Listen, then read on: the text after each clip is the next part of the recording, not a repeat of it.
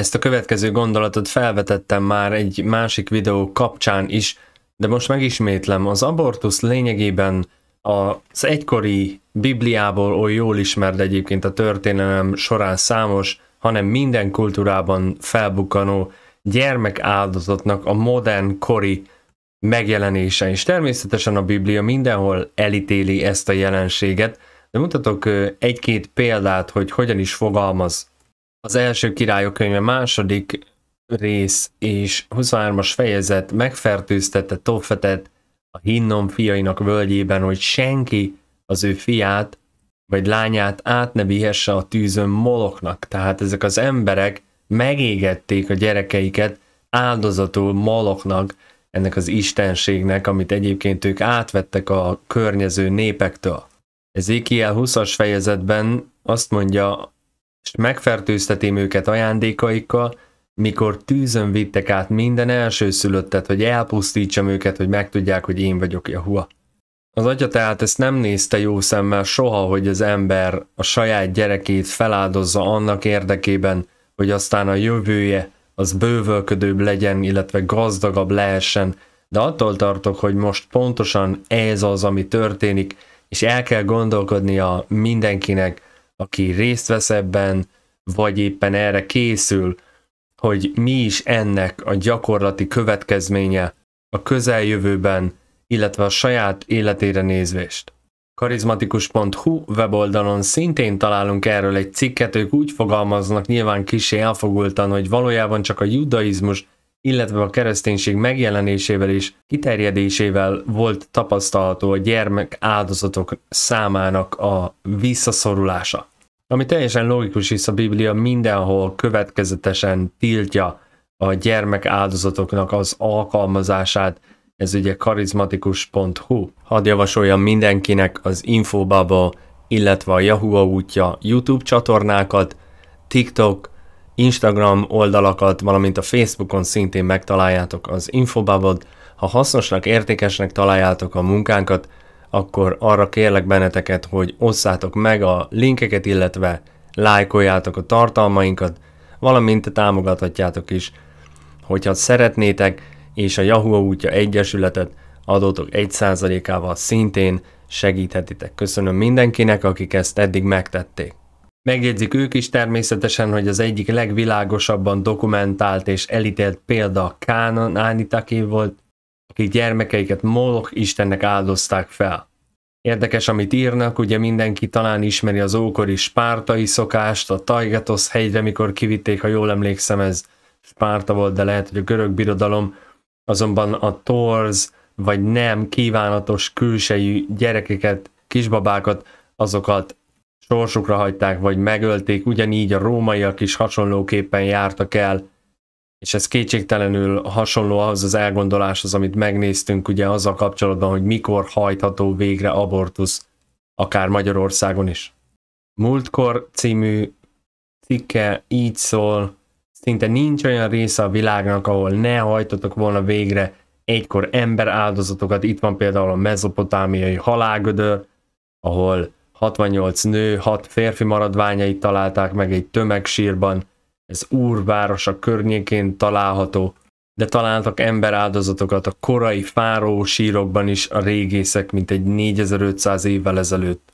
Ha megnézzük a Hawaii szigeteket, akkor még a 19. században is dokumentáltan hajtottak végre emberáldozatokat, pontos okuk azonban nem teljesen tisztázott. Ez mers.hu dokumentum részlege is az emberáldozatról azt írják, hogy a korai termelőknél a termékenységi rítusokhoz nagy valószínűséggel emberáldozatok is tartoztak. Bizarr az, hogy a bújbúj zöldág kezdetű ének és játék, amilyen vidám móka egy régi és véres szertartásnak az emléke lehet, amikor az európai népszokásokban a pünkösthöz társult ez a különös szokás, miszerint egy ember tetőtől talpig levelekbe és fakérekbe öltözött, és különféle játékok, kergetés, viaskodás után úgy tettek, mint a megölték volna. Az erdő, a növényzet, a természet szellemét költöztették minden évben egy emberbe, majd ezt az embert megölték. A furcsa szokás, hiszen nem a természet gyilkolása, hanem éppen új életre keltése a szertartás célja. és úgy akarták életre kelteni a természetet, hogy a régi rossz testből ezáltal a gyilkosság által kiszabadítják. Cél az újjászületés, termékenység és bőség növekedése volt. Most ha előre ugrunk 2017. január 10-ére, akkor olvashatjuk a medicalonline.hu weboldalon, hogy többnyire az anya súlyos válság helyzetére hivatkozva szakítják meg a terhességet, és az esetek 97%-ában erre hivatkozva történik az abortusz.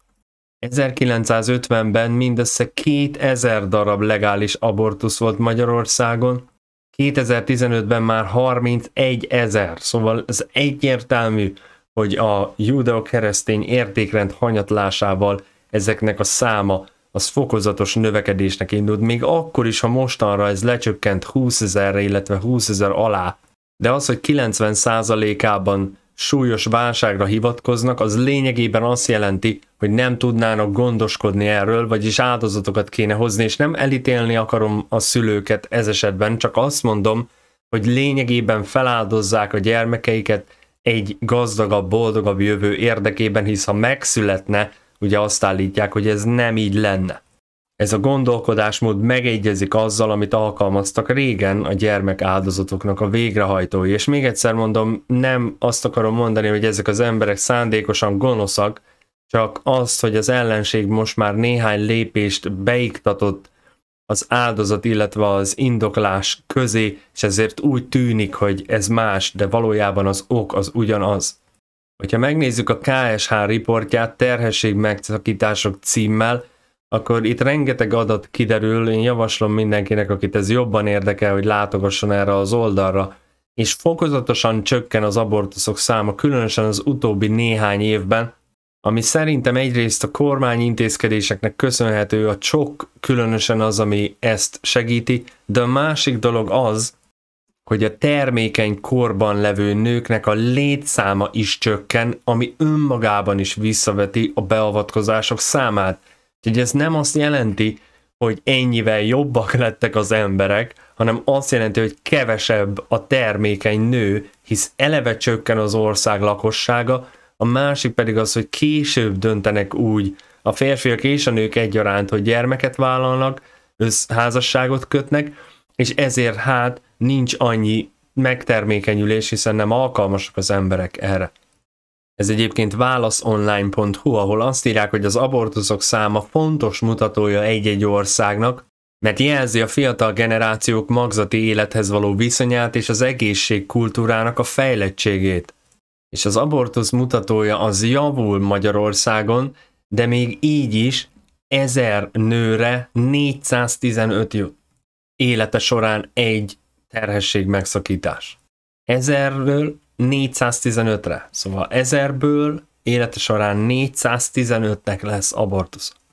Az északkeleti régióval kapcsolatban megjegyzik azt, ami egyébként én úgy gondolom, hogy érvényes úgy általánosságába véve az egész országra, sőt a világra is, hogy az abortuszok magas aránya arra enged következtetni, hogy sokan a fogamzásgátlás eszközének tekintik a beavatkozást, ám arra nem alkalmas.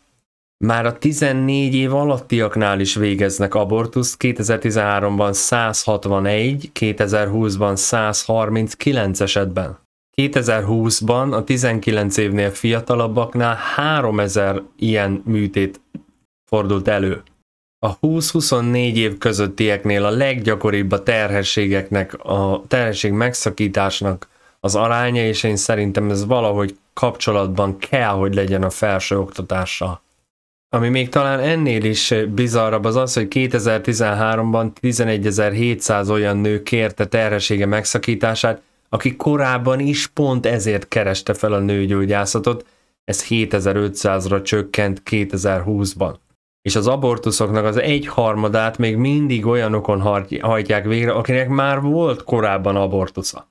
Összességében véve ez a növekedés.hu cikkéből kiderül 80-ban 80 ezer 2020-ban 23-24 ezer volt a terhesség megszakítások száma Magyarországon, amely óriási csökkenés, persze ehhez hozzá kell venni mindazt, amit az előbb felsoroltam, hogy a népesség csökken, az emberek kitolják már az időpontot, amikor gyereket vállalnak, fogamzásgátlás is sokkal fejlettebb szinten van, mint akkor volt, és a kormány programok is szerintem közrejátszanak ebben, azonban ez kétségtelenül pozitív, de még akkor is a szám igen magas. A lényeg a lényeg, hogy ez egyfajta gyermekáldozat, akár tetszik, akár nem, és amikor az ember feláldozza a jövőjét, ami a gyereke lenne, a jelenért, amiben jelenleg él, csak azért, hogy az, az gazdagságban vagy bővölködésben teljen el, vagy éppen a saját elképzeléseit, terveit, vágyait meg tudja valósítani, az mindenképpen egyfajta kritikája a társadalom. Az mindenképpen egyfajta kritikája a társadalomnak.